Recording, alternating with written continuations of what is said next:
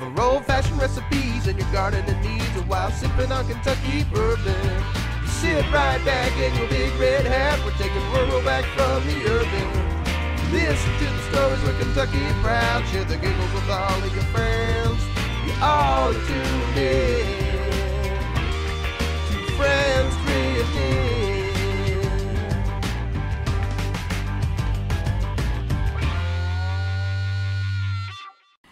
I'm Joyce. Welcome to Friends Drift Inn, your source for the farm to table movement in eastern Kentucky.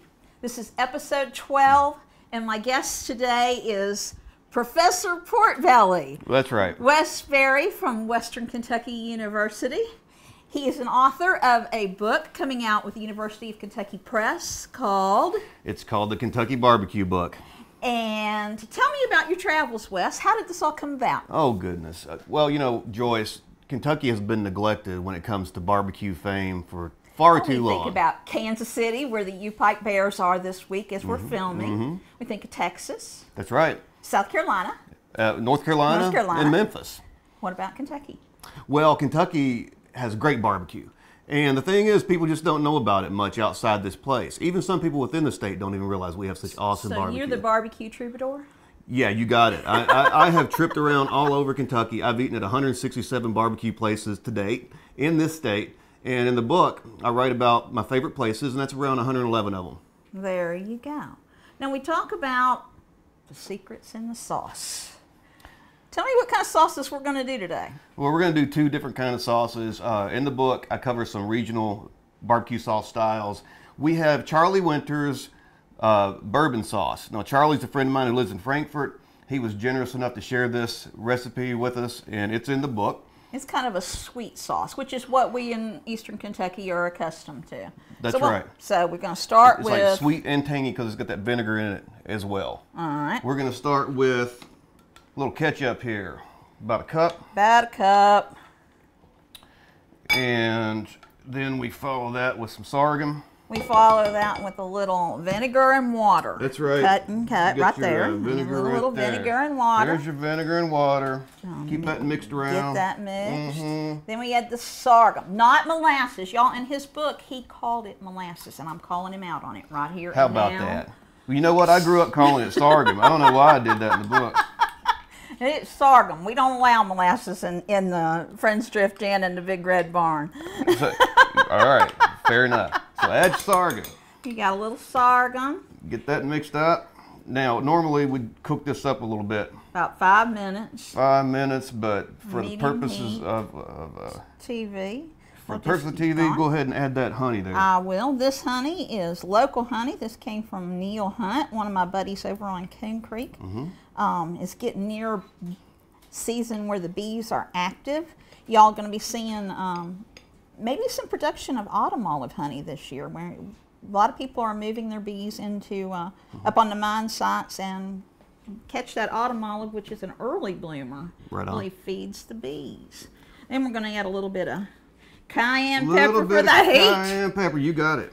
Now, Charlie often puts some chipotle in his. Right, well, we can't get Chipotle here in the And- mountains. I am sorry. I looked everywhere. You know, chipotle will give it that nice little smoky flavor, but that's okay. This meat's going to be smoky enough as it is. Now the the sorghum and the honey makes it give it a glisten, and you know that's what really makes it pretty. Then we're going to add a little bit of Mm-hmm. It is a good looking sauce. pepper. Oh, it is. Let's see. How's it smelling, Wes? Oh yeah. Now, Well, it, it could smell a little bit better, Joyce. I well, you know, it calls for a quarter a cup of bourbon. I think that's Now just this the thing to make it smell out. better. This will give it a little bit of a woodsy, woodsy flavor. ma'am. um, bourbon, you, you're not going to get the alcohol, but you're going to pick up that smoke from the oak because it's soaked in and out of those barrels. That's right. It's coming up on the Bourbon Classic is coming up down That's in right. Louisville. A bunch of chefs will be involved, distillers. It'll be great time. Learn a lot about the Kentucky heritage, and I'm really excited about that. and I think it's fun that you just said down in Louisville, right? yeah, because you're. I guess for you, it's up up in Louisville, isn't It's, it? well, it's actually, isn't it kind of up in Louisville for you as well? Well, no, it's down. Everything's See, down now Louisville. that just smells just a little bit better after the addition of that Right. Now you Maker's do Mark. this red sauce. We'll put it on the. We would put it on the stove. We've got it on the stove back here. We had it cooking about 35 minutes. Mm-hmm. Um, it gets very thick. Why don't you pour some of the red sauce into the bowl over there so they can see the difference. Okay, sure thing. So this sauce has been cooking down for a while. Right. And which bowl do you want me to use? That bowl right there. Oh, bowl right beside you. Oh, okay. Here we go. So this is what it's going to look like after some cooking down. I think It gets Char- really. Charlie recommends. Oh, that's pretty. Yep.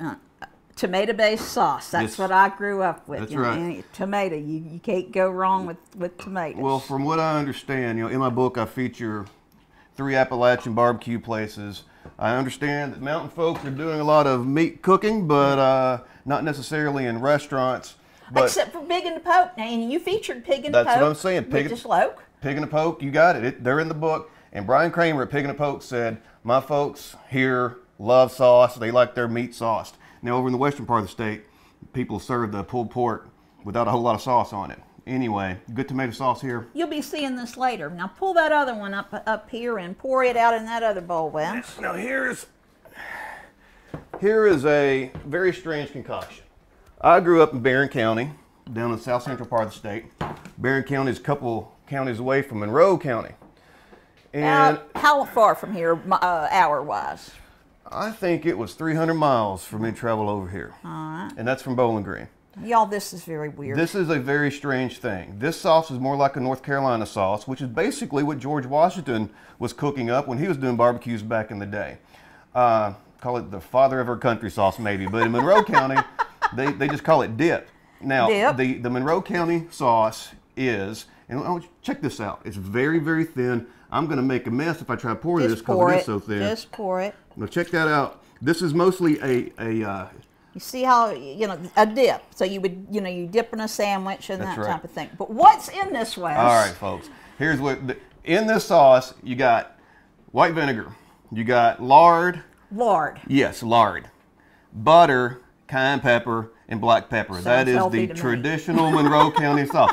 I think the butter uh, allows the vinegar to adhere to the pork shoulder. Now, in Monroe County, the Monroe County style is they cook, they take a Boston butt, and they actually freeze it. It's not such a good thing to freeze your meat, but in this case, it's a good thing. Then they slice it thinly on a saw, and then they grill those pieces over live hickory coals for about 45 minutes, and they sop it with this. They flip and dip, flip and dip. If you get tired of flipping and dipping, then you uh, you go the other way. You dip and flip.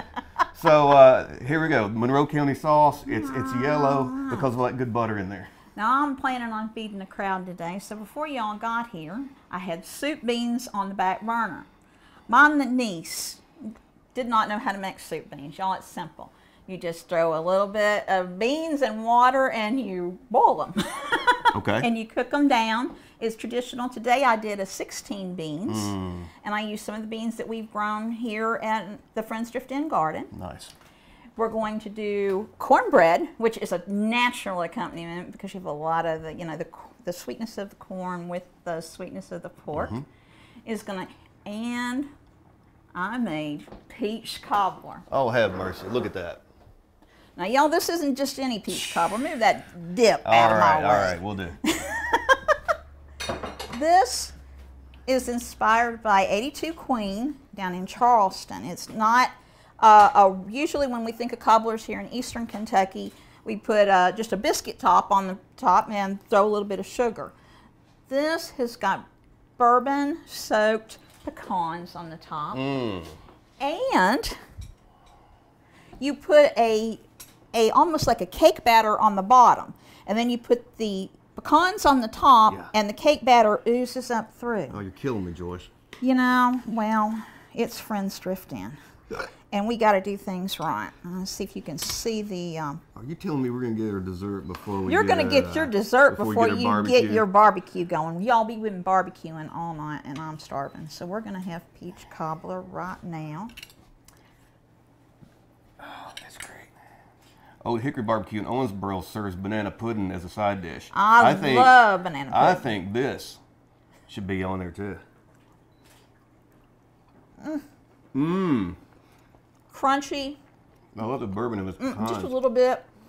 Makes it really woodsy. Mm-hmm. Similar to, I mean, and we're talking all about woods today in the next Mm. segment. The bourbon really comes through there. So the next thing we're going to do is we're going to move this show outside. Okay. Uh, we, we, we got a couple Boston butts smoking Mm-hmm. up on the smoker. And, well, let's go check it out. All right. All right. We're smoking at the Big Red Barn, And and, don't yeah. I love a man that smells like hickory? I'm here with aphrodisiac, George. I'm here with Wes Ferry, author of the Kentucky Barbecue Cookbook, and we are doing big things at the Big Red Barn. Yes, so we what are. do- we've been cooking, y'all, since last night. How many hours has this meat been? I on think this- 16. Put this on around 9 o'clock last night. Right now it's probably 17, 18 hours that these Boston butts have been cooking. So they're going to be tender and good, or your name is Mud. That's right. That's the idea. You just uh, low and slow. You know, when you're cooking a pork butt. And by the way, I think Boston butt's one of the best cuts of meat that you can get. In the western part of the state, they do smoke whole pork shoulder some. The only danger being that sometimes that shank end could dry out before the middle part. How do you resolve that? Well, you resolve it by cutting off that shank end, which is basically a Boston butt. It's that big part of the pork shoulder. And you know, another little thing is Boston butts have more fat in them. The shoulder has more fat than the hams. Right. So some people, just a few people in the western part of the state, actually smoke up the hams because it's leaner and you get less waste. Never have heard of that. But you don't get that good, yummy fattiness that you get Right. from a, a Boston butt. So ideally, these things, you know, you'll put them on, you'll smoke them low and slow. That's the barbecue mantra, right? 200, 220 degrees for, I say 15, 16, 17 hours, you know? And what before we put them on, we used a little bit of here. Hold this. That's right, that's right. We used a little bit of coarse salt, kosher salt. We patted that down on mm-hmm. these these frozen ones. We patted it down. Um, you want to use a kosher salt that's got a real coarse grain so it doesn't mm-hmm. dissolve and it gets that crust and, right. and, and what they call the bark. And then we also patted it down with a heavy, a really coarse grain pepper. Mm-hmm. Of course, I use Matt Jamie's Bourbon Barrel because it's a, a Kentucky Proud product. But any coarse pepper would work, and you, got- y'all can see it's real gritty and it gives it a lot of texture to the Absolutely. meat. It's like the kosher salt of pepper, Yeah, right? That- Exactly right. So tell me about what the difference is between Eastern Kentucky and Western Kentucky when it comes to barbecue. Well, I think the biggest difference is that folks over here, they like sauce with their barbecue and tends to be like a heavier tomato-based sauce, Right. like for instance at Pig and a Poke in Prestonsburg. Right. Uh, and the meat is served with sauce on it. Now, over the western part of the state, you often get your meat served naked. Just Naked? Naked, naked meat. Just some salt. Now, Joyce.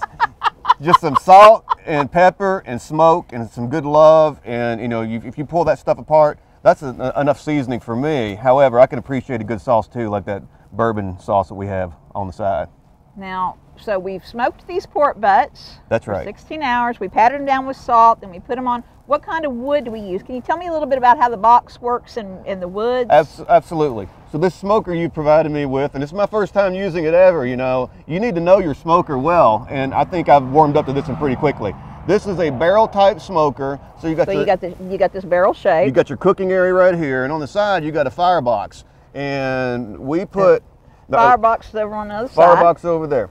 We put a hardwood lump charcoal in there, which I do favor because it doesn't have as many fillers as uh, some of the regular charcoal that people right. have known for years. And we've been throwing chunks of hickory in there. Now, over in a lot of places in Kentucky, I really love Kentucky barbecue because there's still places using a lot of wood in their cooking, which of course gives you that great smoke Hickory penetration. gives it a sweetness and a woodsiness that is very distinctive. Um, growing up, we used to in the winter, you know, as we would gather hickory nuts. I mean, a lot of times we would throw a little bit of the hickory nuts. Yeah, yeah. On on That'll the work too. smoker, and it, it really made a huge difference. Any kind of wood that yields a nut you can use. I know people using red oak, which can make your meat kind of bitter. Right. Hickory is, of course, the perfect wood. Uh, we don't mess around with that mesquite much in these parts because we don't have it, No, right? But down in Texas, that's big doing. Yes, they do. I like using fruit woods as well in my smoking. Sometimes. Uh, and- Applewood. and, and by the way, folks, uh, green wood I think is preferable to the dry wood because it adds more moisture in there because you know that the moisture cooks out of the green wood. It's a good thing. It also lasts longer. It doesn't burn up on you as quickly. Show us what you got going on because I'm about to die. Yeah, I hear you. Uh, What's up? It is one of my favorite odors, but this is pretty intense. By the way, this is about the most beautiful place I've ever smoked meat in. It's gorgeous here. I love it. Appalachia has a lot going on, Wes, and I'm proud to be a hillbilly. Well, yes, ma'am. And uh, one of my other names, Professor Porkbelly, is one of my nicknames, and Professor Hillbilly is another one. So uh, we got hills in uh, Barren County, Kentucky too. They're just not as big as the ones you have here.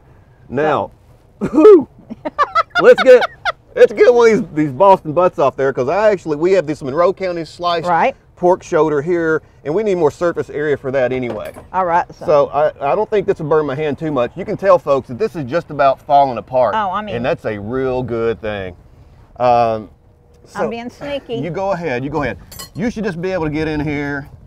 Oh yeah, check that out. oh my goodness. Right, get in here, pull that apart. It's moist. It's got that good bark on the outside. Try it, and Wes, try it. I'm going. I'm gonna let it smoke, and y'all can see. Show me where it's pink. That's where the smoke has penetrated.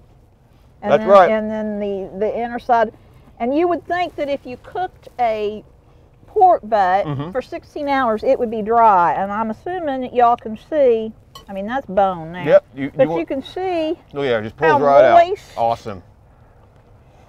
That is. Oh, this is so good. Well, this is not an oven, but I would say that's loving from the oven right there, loving from the smoker. Now, So- here's another regional variation. Some folks just like pulling their pork. Some folks like it finely chopped. Um, I like to just mix it around, get that bark, that external bark mixed in with the good. Uh, oh, you saved the inside. bark for your. You saved the bark for your favorite man. You know what? I, I've Do you heard. have a favorite man, Wes? Uh, me?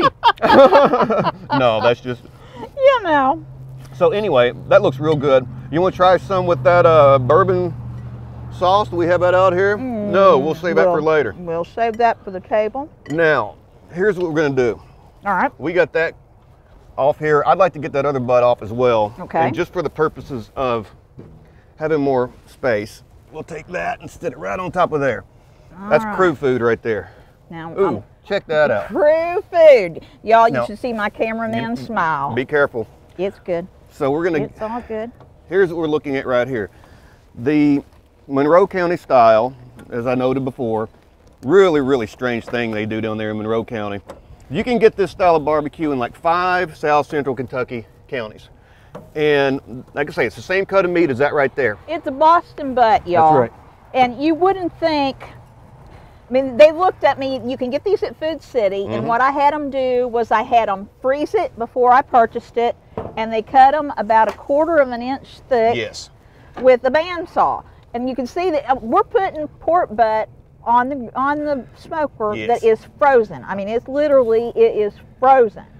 So that's really strange, Wes. It is very strange. Again, um, I, I would generally not recommend freezing meat, but you got to do it to get that thin, Thin slice. slice. And the thing is, because these are so thin, you can see the bone is still in there, that little uh, U-shaped bone. Right. Uh, when these things cook up, I eat it all. You can see the fat marbled in there, and basically everything, everything but the bone. And I'd eat the bone if I could, because that dip sauce. If you like vinegar and you like butter, I mean, who doesn't like butter?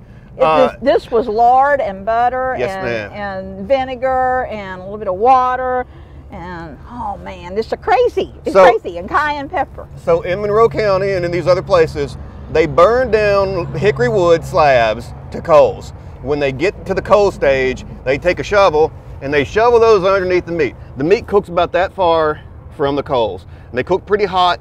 Piece of this should be, the longer the better, but about 45 minutes should be enough to get one of these pieces cooked. We got a couple on here that are just about where they need to be. All right. Let's check that out. you When- burnt me up. sorry about that. That's all right. Uh, I can't even see what I'm doing. I- I'm in a blue haze. what you want to do is uh, now some hickory. You want to keep an eye on these because you don't want to burn them. You can see this piece right here. That's pretty much ready, and it has gotten a little charred because it was close to that firebox on the side where the, the flame leaks out. Now, if you're going to eat this stuff in Monroe County, you gotta have the dip. that's right. No, they will say you want it. You, you go in, you order, you say, I want a shoulder plate. They call this shoulder. A shoulder plate. I want a show, which is a you know a plate of this thin sliced pork shoulder. Okay. Um, they'll say, well, you want it dipped or sprinkled.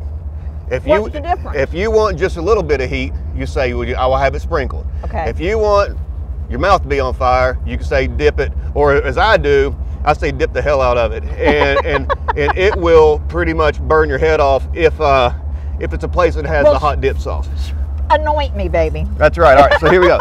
I would say, well, normally you take it with your tongs, dip it in there, and it's, it's dripping with the stuff.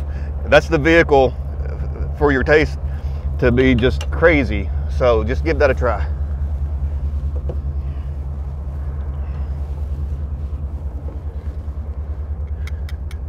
I'm real curious about this, Wes. it is hot, but it takes you a minute. That's right. It, it's got a creeping heat. Yes, ma'am. because of the lard and the the butter, you know, it's not that that sweet glaze like what we're used to at all. I mean, it's it's a totally different animal, That's right.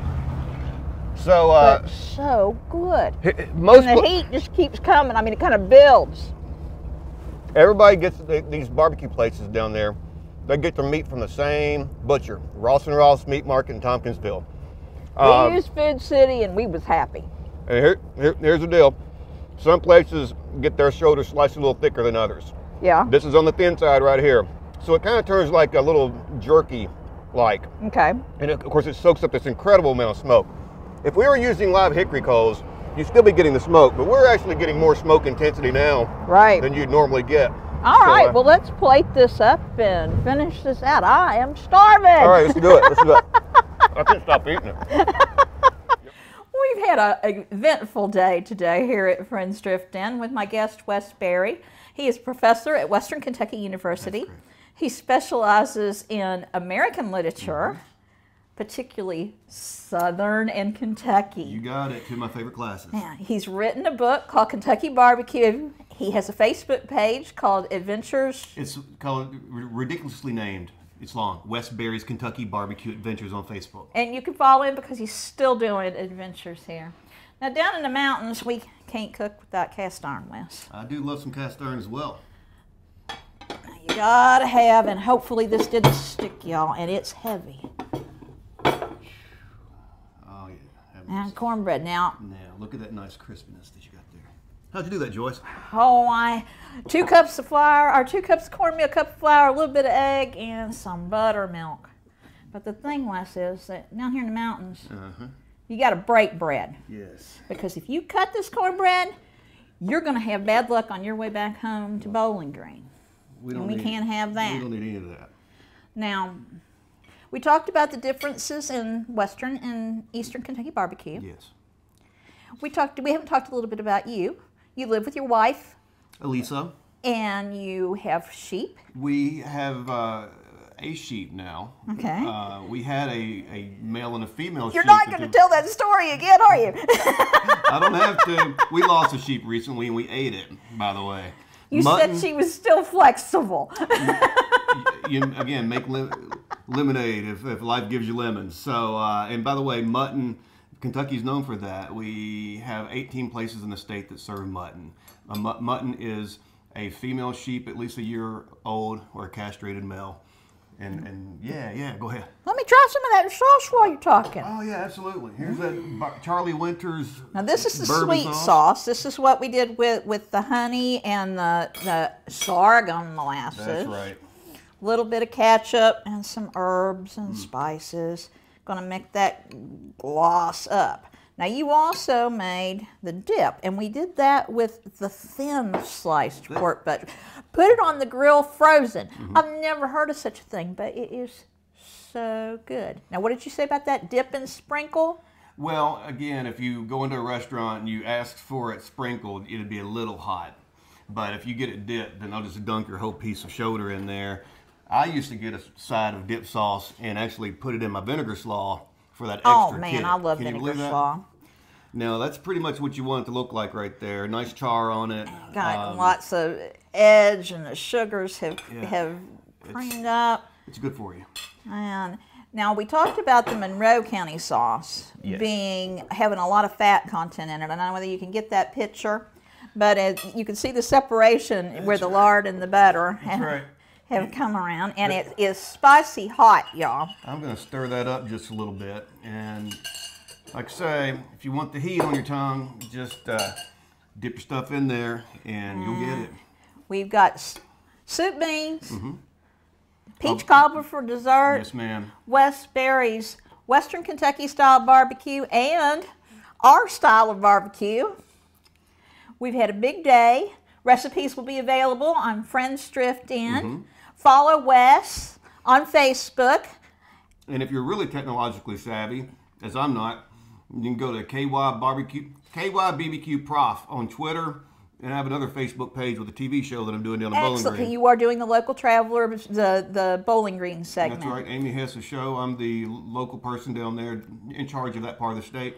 Buy Wes's book, The Kentucky Barbecue Book. Yes, Tell about all of his adventures throughout the great Commonwealth. And you know what we say on Friends Drift Inn, Wes? What you say, Joyce? We say, Share share giggles. giggles.